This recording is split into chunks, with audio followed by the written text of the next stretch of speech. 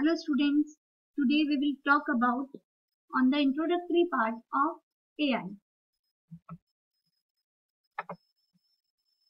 Till the end of the lecture, you should understand the concept of AI, history, current status, goals, advantages, disadvantages of artificial intelligence, feature scope along with the conclusion.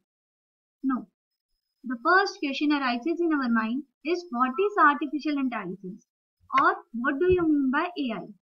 The artificial intelligence is the made up of the two words artificial and intelligence. These two words are combinedly form the term artificial intelligence. Artificial is the non-natural or man-made things and the intelligence is to is the ability to learn and the think. So the artificial intelligence is the simulation of human intelligence by the machine. Artificial intelligence is the ability to solve problems like human or ability to act like a human.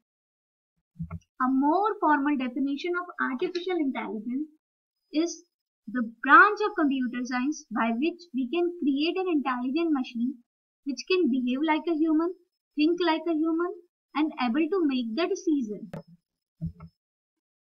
Early in 1950, one scientist that was Alan Turing can propose a term can machine think but that time no one can believe him. Later on in 1956 the term artificial intelligence was first introduced by John McCarthy. Here are some very well-known examples of artificial intelligence. These are the intelligent digital personal assistant on various platforms like Alexa on Amazon Echo, Cortana on Windows Phone, and Siri on iPhones, Google Now on uh, Android phones. These personal assistants can be used to make the call, send messages, set reminders, take a notes, recognize music, create restaurants. These are the personal assistants that we can use in our day-to-day -day life. Now, the current status of AI. AI is used in many applications like AI is used for goods.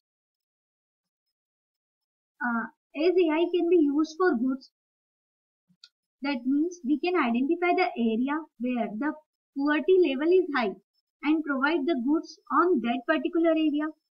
AI can also be used in aviation systems like gate allocation while plane is landing. AI can also be used in education. AI can be used in healthcare system, heavy industries. So the robots can work in very fast manner.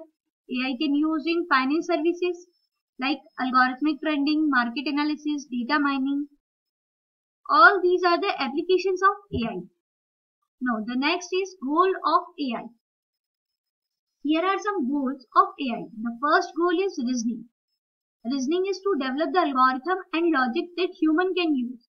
If the machine can use the same reasoning or same logic, then we can say that the machine have the reasoning capability. If I am on the 20th floor of the building and I want to go at the ground floor, that I have to use either lift or stairs. If the machine can apply such type of logic, then we can say that the machine have the reasoning capability. Now the next is knowledge representation. Knowledge representation, if the machine have the capability of decision making and have able to represent their knowledge when particular situation is occurs, then we can say that the machine have capability of knowledge representation. Now the next goal is problem solving.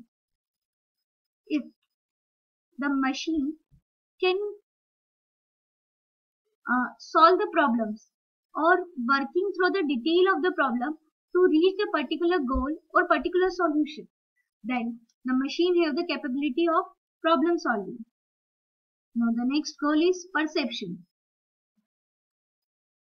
Machine perception is the ability to use input from the sensor to deduce the aspects of the world. That means machine takes the input through the environment, through the senses and the intelligent agent should act as the actuators to do something towards the environment. That means through the senses machine can sense the things and so apply some intelligent uh, intelligence on that particular thing and react according to the environment. Now the next goal is planning. Planning is the decision making. That means machine should have the decision making capability to reach the specific goal. If the machine have such type of decision making capability, then we can say that the machine have the planning to reach the goal.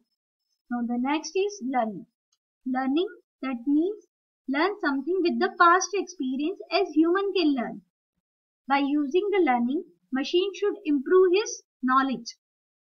And these learning is provides towards the environment whenever the necessary. Now, here are some advantages and disadvantages of artificial intelligence. The advantages of AI is the chances of error is almost nil in case of AI. Whenever you, we are using the AI, that means whenever you are we are using the intelligent system, then the error chances is almost nil. AI can also be used to explore the space of explore the space depth of the ocean, it can be used in time-consuming tasks efficiently. Suppose we have to multiply the two 10-digit number, then machine can do these tasks as faster than as a human. The most important advantages of artificial intelligence is machine do not require any slip or break, so it can continuously work without any stoppage. No, here are some disadvantages of AI. If we make the machine intelligent, then definitely the cost becomes increases.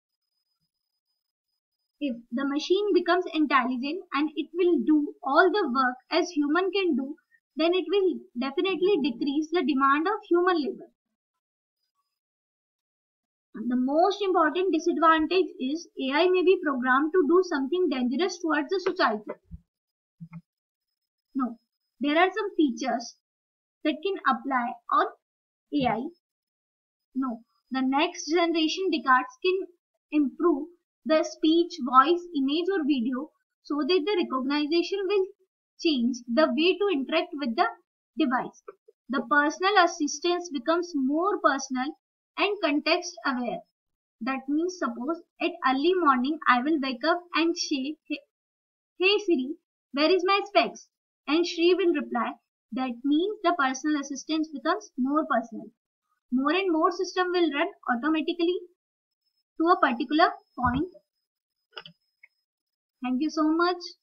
I hope you liked the video and understand the concept of AI or we can say that understand the basics of AI. Thank you students.